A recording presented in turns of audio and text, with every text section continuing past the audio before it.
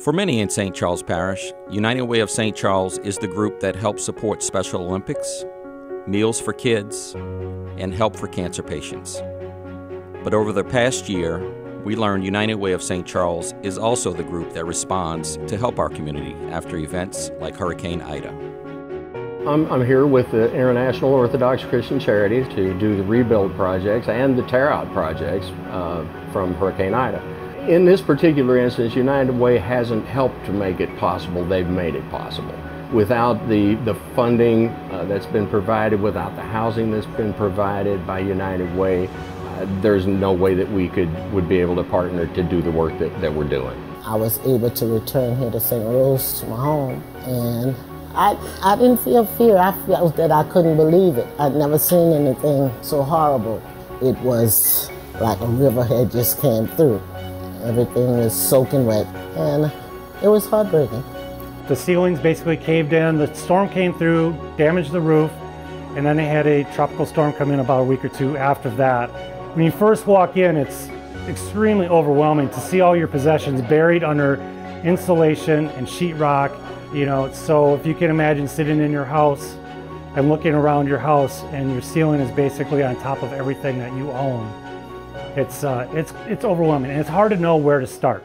It's just exciting to be able to meet the homeowner, to be able to help them out, and just for the community to see that someone still cares, someone is still thinking about people that were affected by Hurricane Ida.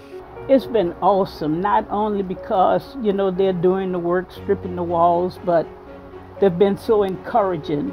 It's just been awesome having them here. They're just wonderful. I just can't stop thanking them for the awesome work that they do. The joy of a person when they realize they're really going to fix my house. That's the payoff. That's what makes it all worthwhile. That's that's why I do this.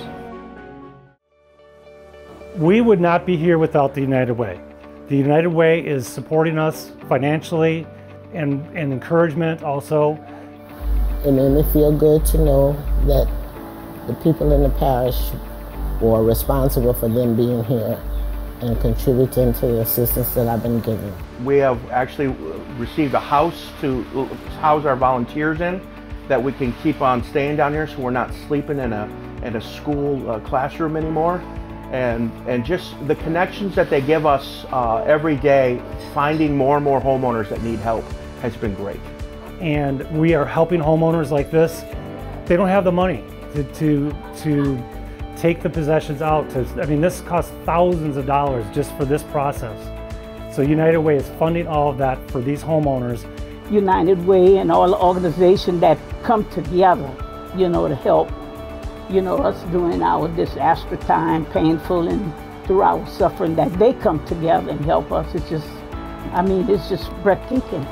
The United Way has helped me tremendously. I couldn't do the repairs because of the costs.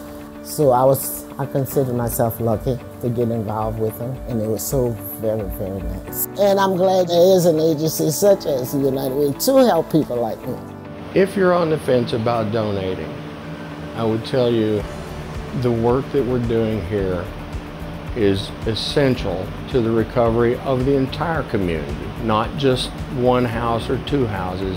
And I would ask you to consider what would you wish me to do if it were your home? As we have done for almost 70 years, United Way of St. Charles will continue to work to help people help themselves, to improve their quality of life, and to improve our community as a whole. Now more than ever, we need your help. Great things happen in St. Charles Parish when we live united.